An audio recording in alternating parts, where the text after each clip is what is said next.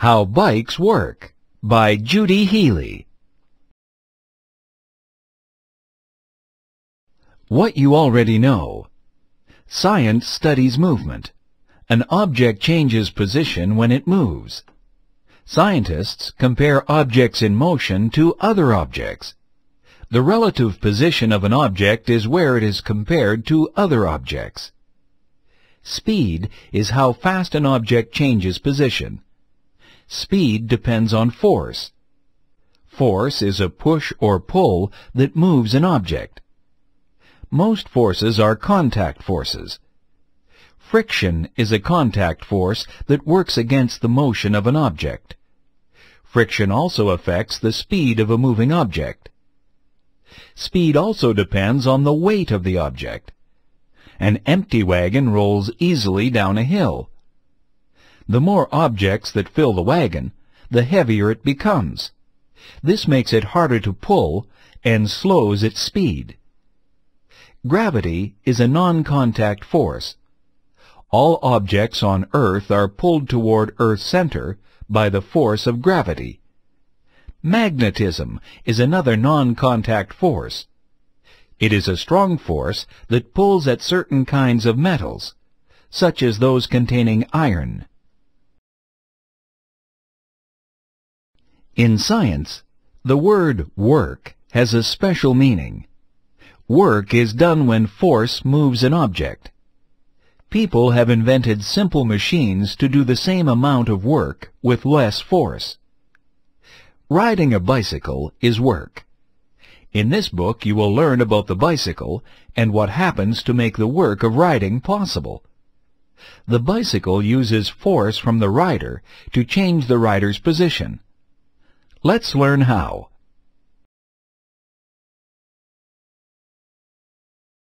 Marvelous Machines Bicycles are marvelous machines.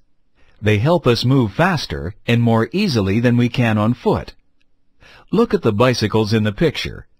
What do you see? Can you name all the different parts of a bicycle? Do you see handlebars? What about wheels? Where are the pedals, gears, and axles? In the next few pages, you will learn about these parts and how they make it possible for you to ride a bike. Scientists who study how objects move are called physicists. These scientists study the force, friction, work, and motion of objects large and small. Physicists help us understand how bicycles work. Engineers are scientists who design and build machines. Bicycle engineers study physics to try to improve bicycle designs. Now we will study the physics and uses of bicycles.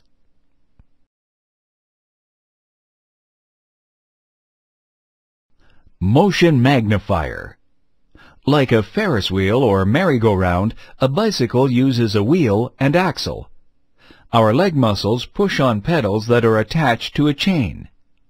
The chain is attached to the back wheel of the bike. The chain spins the back axle. The axle is a bar that connects the wheel to the bike. The axle spins in a small circle. It moves the back wheel in a large circle. The small spinning of the axle is magnified in the large spinning of the wheel. So the back axle and wheel receive all the force of our leg muscles. The front wheel is used for balance and steering. The back wheel does all the work.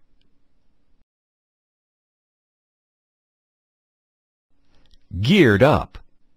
Gears are an important part of a bicycle.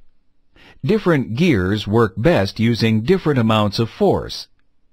Gears allow you to pedal the right amount for the terrain you are riding on. The gears are the smaller wheels near the axle. They are called the gear wheels. This is where the chain is attached. The chain also fits on two or three larger different-sized wheels near the pedals. These are called the chain wheels. A bicycle with many gears has different sized chain wheels and gear wheels. In high gear, you need more force to turn the large chain wheel. But this spins the back wheel faster. In low gear, you need less force to turn the small chain wheel, but this spins the back wheel more slowly. It is much easier to spin the smaller chain wheel. Lots of cyclists switch to low gear when going uphill. The largest gear wheel moves slowly, moving the rear wheel and the bicycle slowly. This makes uphill cycling slower, but easier. Keeping balance. Can you ride a bike without training wheels? How did you learn? Did you fall a lot when you learned? It takes practice to learn to ride a bike without training wheels. To ride a bike, you have to learn how to balance. To balance on a bike, most of your body must be above the point where the tires meet the ground. If you lean too far one way, gravity will pull you to the ground on that side bicycle engineers must make sure the seat is put in the right place. Otherwise, it would be hard to balance. Some people race their bicycles around oval tracks. In this type of race, cyclists rely on gravity and other forces for balance as they ride around the curves. Gravity pulls the cyclists in toward the curve, but their pedaling pulls them outward racing cyclists need to balance these two forces. Some cyclists race on long courses, often over hills or even mountains. These riders must learn to ride across the slopes of hills. Picture a hill near your home. Now think about riding across the hill. Which way will gravity be pulling you? Downhill. To ride across slopes, cyclists lean into the hill. This keeps their center of gravity on top of the wheels, so that the bike will stay upright against the pull of gravity. Get a grip. There are many different forces working against each other when a bike is moving. Terrain, wheel traction, and wind all create friction. Smooth tires grip smooth roads well, Rough tires grip rough roads well. But smooth tires slip on rough terrain, since they do not have enough friction. Rough tires create too much friction on smooth terrain, so cycling is slow and difficult. Friction helps all cyclists on all types of terrain keep their feet on the pedals. Cleats on the bottom of their shoes, or straps on the pedals, hold cyclists' shoes in place. This creates enough friction for riders to keep their feet on the pedals. When riding downhill, cyclists can pick up so much speed that they need to use brakes to slow down. Brakes create friction that slows down a moving bike. Most brake controls are on the handlebars. Some bicycles have back pedal brakes. How brakes work. Hand brakes rest on both sides of the wheel. When you pull the controls, the brakes pinch the wheel. This makes friction that slows down the bike wheel.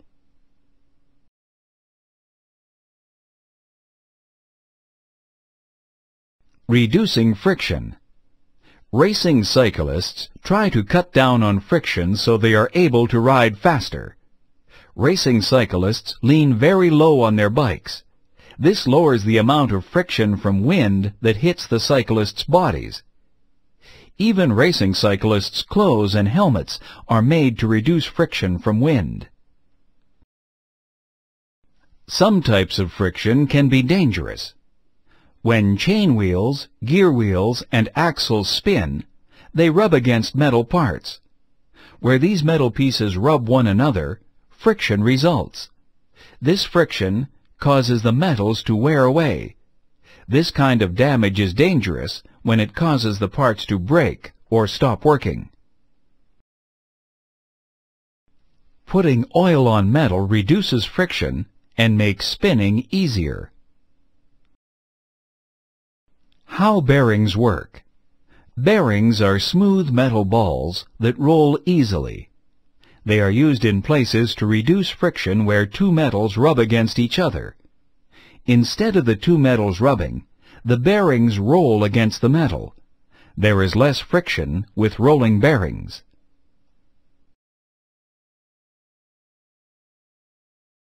Riding the bumps. Bicycle wheels were once made of wood or metal. Think about riding on a bumpy road with wooden or metal wheels. They would not flex or bend, so you would feel every pebble. Modern bicycles are designed to make riding smooth and comfortable.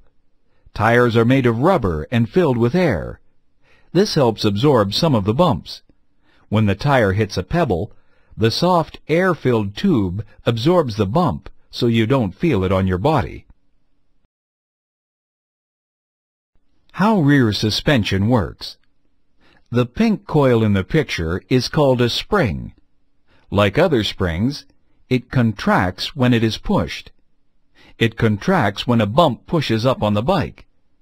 The contracting of the spring absorbs the shock of any bumps, so the rider won't have to feel them. Some bicycles also have suspensions. A suspension is a system of springs. Some bicycles have springs on the front wheel, others on the rear. Some bicycles have springs in the seats. Springs make riding more comfortable by absorbing bumps just like the tires. It is still important to watch out for large holes and rocks.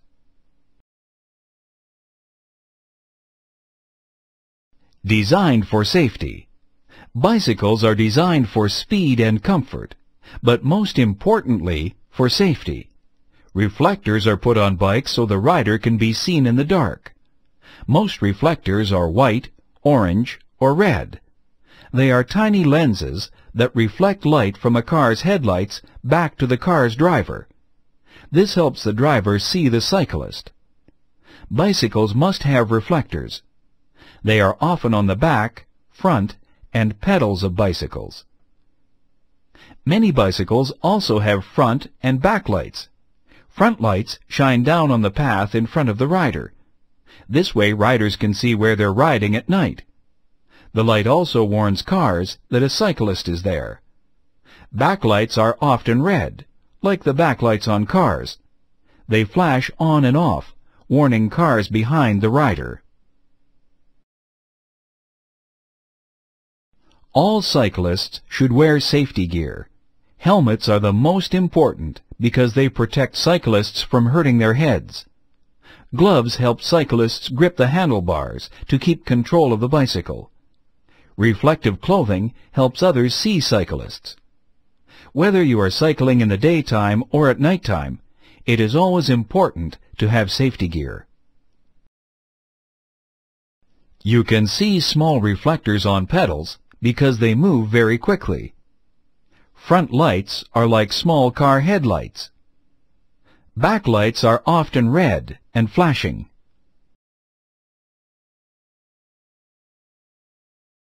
Types of bikes. There are three main types of bicycles. They each have a special design and use. Road or racing bicycles are made for riding on smooth roads. What features of the racing bicycle shown below are made for smooth, fast travel? Notice that the wheels are thin and smooth. This cuts down on friction, so the bicycle moves faster. The handlebars are curled, so the cyclist can lean forward to reduce friction from the wind. Mountain bicycles are made for rough riding. Many mountain bikers race on rough, muddy, and bumpy land. What features of the mountain bicycle shown below are made for rough riding? Notice the wheels are thick and have ridges. The thick wheels make the bike strong. The ridges of the wheels dig into loose or muddy soil. This creates the friction that keeps the cyclist up straight. The wide handlebars help the cyclist stay balanced.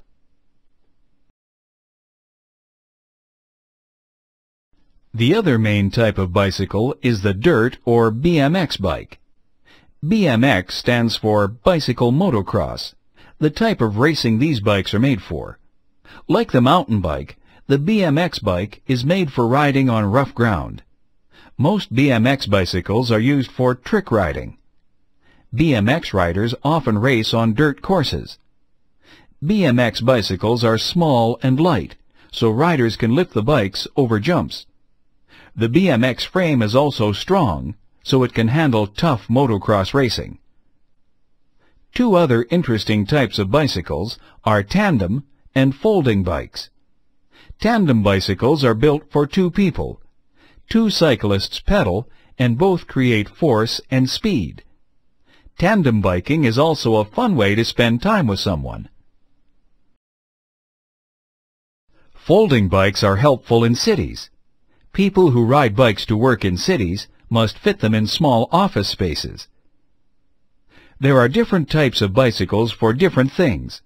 Whatever type of fun you are looking for, chances are you can find a bicycle for it. They are amazing machines.